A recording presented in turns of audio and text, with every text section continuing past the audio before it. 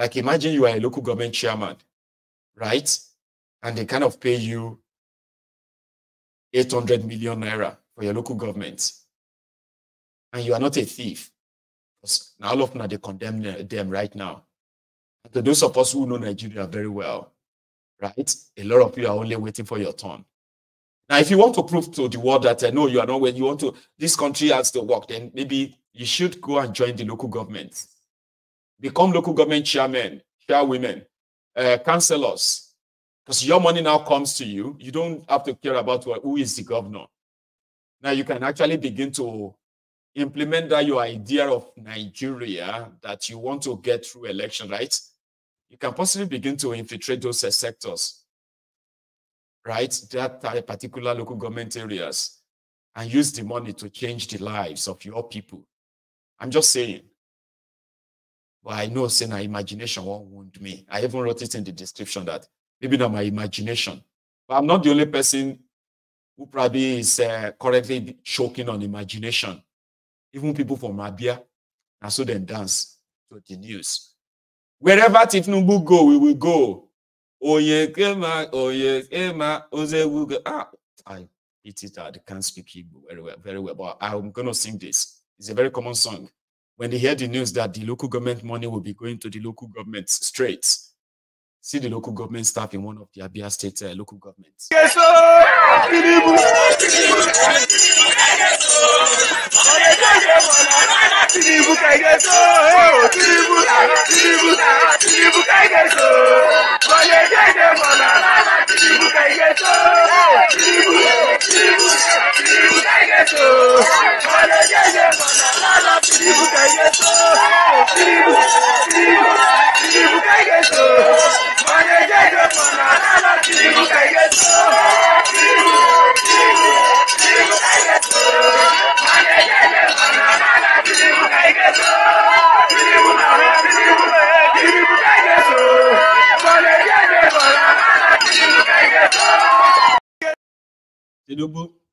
Tinubu Tinubu degezo Oye kede kada Tinubu degezo I know say I didn't sing it well but that's what I heard. So they were singing that uh, wherever Tinubu goes, they will go. Tinubu lead, we will follow. Thank you. Thank you. Something like that. On a scam. And you come back here and tell me and say, Am I going you said it? Oh? Stop making, stop, see, stop making it look like it, it takes a genius to see through their lies. It doesn't take a genius. A lot of you are just so much carried away I mean, hang on. You have been starved with uh, good news so much that anything you can manage. When you begin to look at the substance, you begin to look at it very well. You realize that it is Genje. It is Genje. But because it is Tifnumbu as well, right? And it is a lawless place where they could do whatever they want as well. Yeah. Uh, maybe Tifnumbu can just pay them but it's all scam, okay? It's not going to pay you directly. They are there now that uh, the state governors are currently they are meeting. I'll tell you what they say later, though. So they are meeting to uh, decide what is going to be the next line of action. There's no way we're going to let this pass. No way. It's a good thing. They should let it pass. They should they should call their own uh, the lawmakers that uh, the senators and reps from their states and tell them to go change that section of the constitution that says that and then close the joint accounts. Let the local government chairman present their own bank account, the, the, the local government account, present that and receive the money so that uh, you can begin to actually hold your own councillors, your own uh, local government chairman and all that. Here you get. Somebody said, ah, if they give them the money directly, you will see how many local government chairmen that will be chased by the EFCC. Because some of them don't even live in, the, in their own local government areas. Really? So now you will live in your local government area, okay? Now you you uh the Gen Z or the especially you the Obidient. This is your chance. If that the Nigeria you believe you can save, right? This is your chance. So call if call means it all. And then you push your revolution enough if you do push one though because you are the one who has the number though. You have over 6 million, and you said you are more than 20 million as well. I'm just saying, okay, I do imagine things. And when I imagine things, I can easily pass them on and say, Do you have a minute to imagine it too? So before imagination wound me, okay, I am only talking to those who believe that they can rescue Nigeria. We call people like you deluded. I like you. You know, something. Like people who are still doing something. Okay. And we are united because we have a common enemy, an establishment that has taken so much from us. The one that loves to keep us divided enough that we will never be strong enough to fight them, right? So I like you. So continue to give it a shot. Hmm? So I'm just saying, you know, if you want to go that route, it will help. Seriously. You've already tasted uh, their rigging, you've tasted uh, their brutality. And if you want to get them, well, this may be your chance. Except that it will never happen. You know. Now you see this Samoa deal, Samoa deal. They have make it more about the LGBT, about uh, the homosexuals and the stuffs like that. Others are saying, but there are other good things in it. But nobody wants to touch it anymore. Initially, they said, oh, Tipnumbu and his gang said, there's so much misinformation about uh, the Samoa deal. People are saying, are you mad? We are reading things here. We can see how they tweak this word here and there. What we are just saying is that uh, there are good stuff in there that will benefit a lot of Nigerians and all that. But there is no point in lying to them. Okay if you have law in your country that is against this part of uh, a disagreement, all right, you should clear that first, but don't sign it at all. Now, they said over 180 House of Representatives members are telling Tifnubu not to implement it, but Tifnubu is saying, he will implement it. But look at, listen to this guy. He's from, uh, I think, Kano. Federal government. The House notes that on June 28, 2024, the federal government signed what is known as the Samoa Agreement with the European Union, EU, to boost food security and inclusive economic development among other vital areas. Concern that the agreement allegedly has some clauses that compel underdeveloped and developing nations to support lesbian, gay, bisexual, and transgender LGBT, LGBT community as condition for getting financial and other support from advanced societies. Also concern that Article 97 of the alleged agreement, which states no treaty convention, agreement, or arrangement of any kind between one or more member states of European Union or one or more member states of OACPS members shall impede the implementation of this agreement is seen as supremacy clause and thus violate Nigeria's sovereignty. Worried that other articles, especially Article 2.5, 29.5, 36.2, and Article 88 in the Samoa Agreement that was signed by the federal government may be inimical to the interests of Nigeria as a country and the values of our people as a whole. More so, it does not contain a reservation clause. Aware that Article 2.5 states that all parties systematically promote a gender perspective and ensure that gender equality is mainstream across all countries. Also worried that the phrase gender equality, as reported, is a Trojan horse for deceptively bringing in all sorts of immorality to our country, as gender no longer means sexes, male and female, as traditionally understood, it now includes homosexualism, lesbianism, transgenderism, and animalism. Further worried that the signing of such an agreement with the aforementioned clauses, if true, violate our sovereignty and is a clear contravention of Section 12.1 of 99 Constitution as amended. The federal government may have signed the agreement without exhaustive consultation and consideration for possible long-term consequences. Resolve to call on the federal government to suspend the implementation of the Samoa Agreement until all controversial clauses are clearly defined to make sure that they do not violate any law in Nigeria.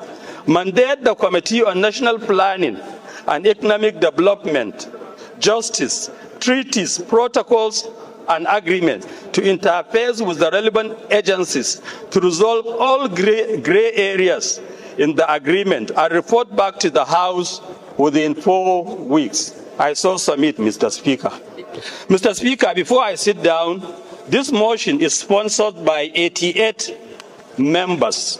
Among them are five members of leadership, which includes the minority leader, youth of Nigeria. Great. Great. Great. Great. Great. Great. Great. Great. Great. Greatest, greatest, greatest, greatest. Yo, yo, yo, yo. You won't need a car to travel. You won't need an aeroplane to travel. You will just say, I want to go to London. And you'll be in London. Whether you believe it or not, the time is coming when you won't need, you won't need a car to travel. You won't need an aeroplane to travel. You will just say, I want to go to London. And you'll be in London. So shall it be. That's how they run it in Nigeria. oh.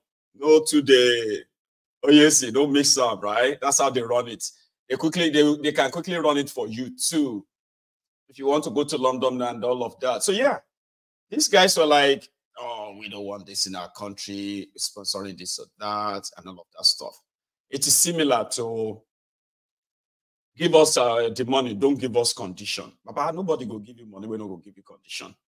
That's why you have to make sure that you respect yourselves, okay?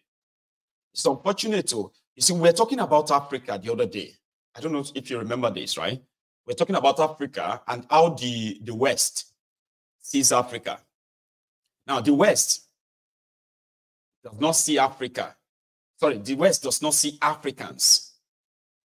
The West sees the wealth of Africa. You see all those precious uh, resources under our under our soils, right?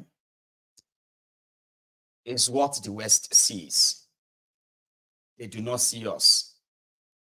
Maybe to them we are too dark to be seen. And it's unfortunate, right? That it was the Arabs that first came eh, to rape, to loot, to plunder, and destroy Africa.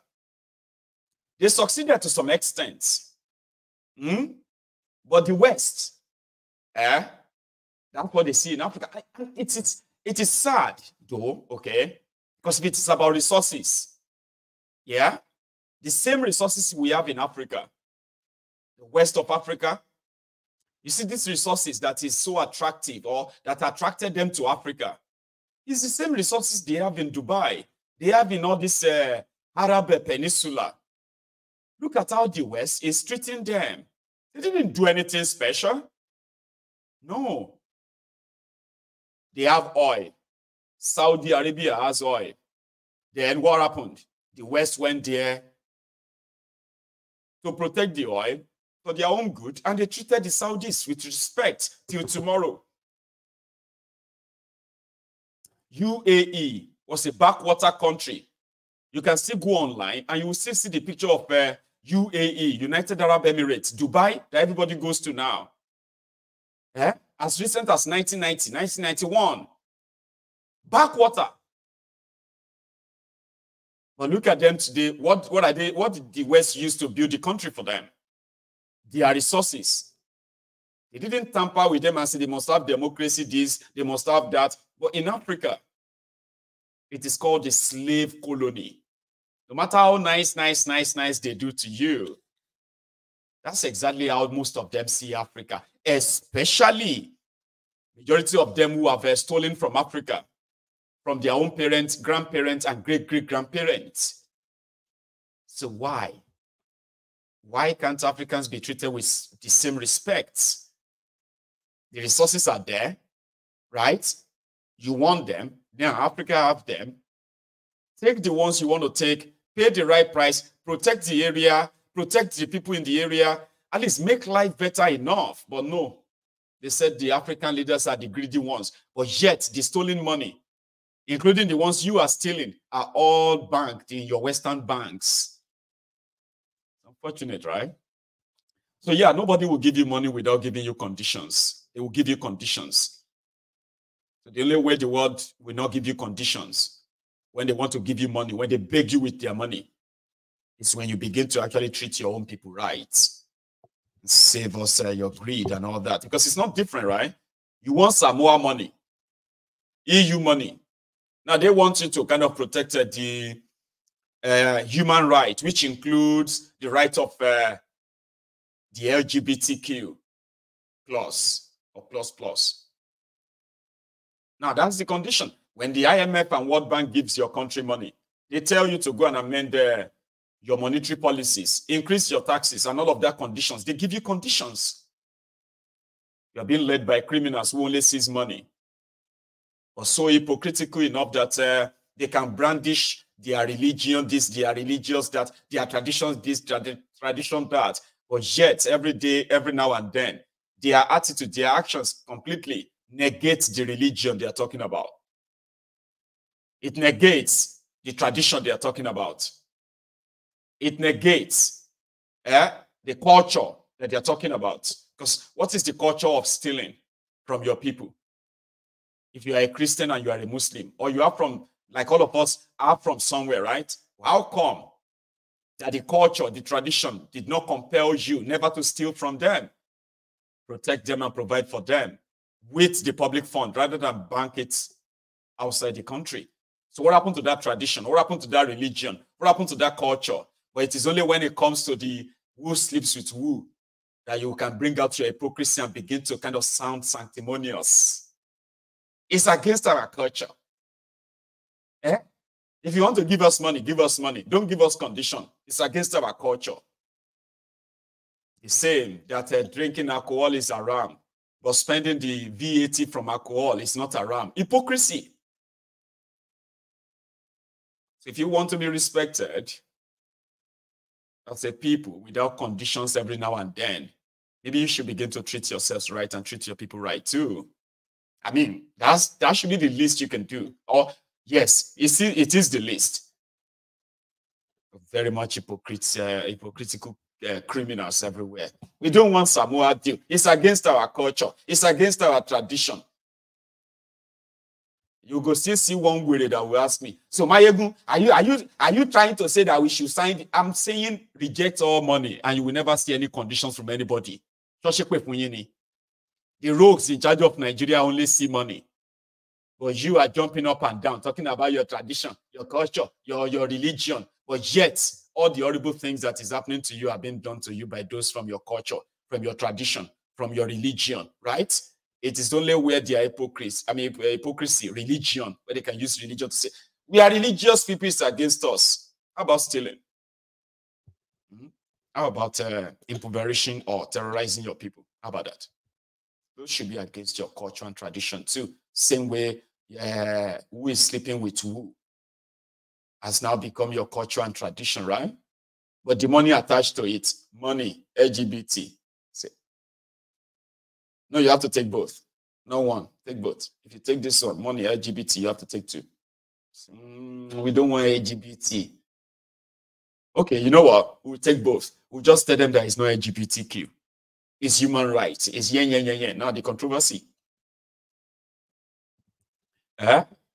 The region with uh, drug uh, pandemic where uh, you know, a larger population of uh, the young people in northern Nigeria have become drug addicts, including housewives. It is a pandemic in northern Nigeria.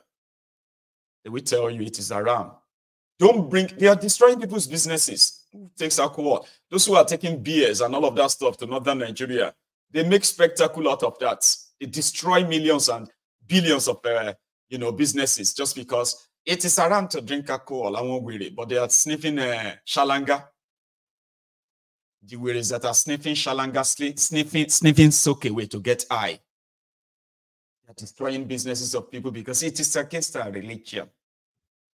I hate hypocrites. I don't like hypocrites. Right? Anyway, uh, Tifnumbu has signed it and they are waiting to implement it. And mm, whatever, uh, or however this uh, goes, right?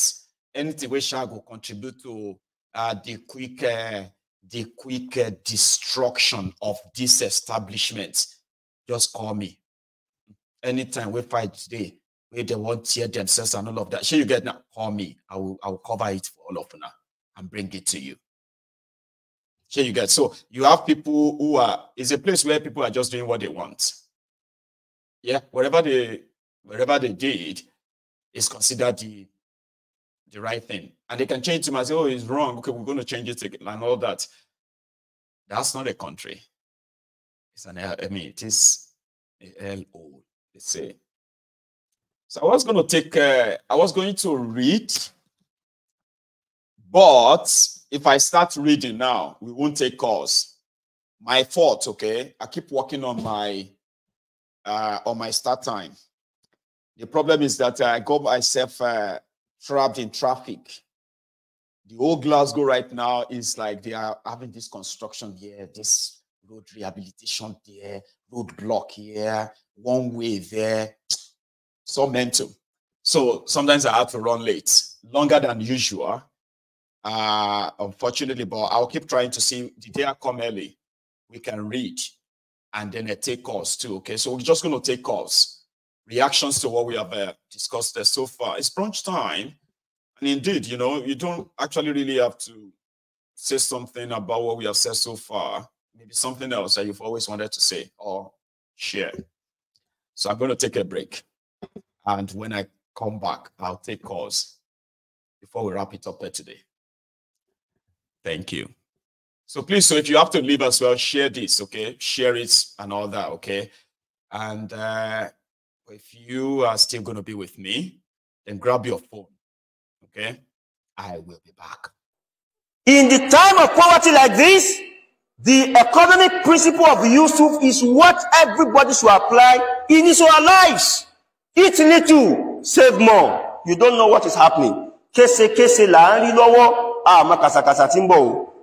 A dollar was just 800 naira or thereabout a couple of months ago. Now a dollar is over a thousand naira.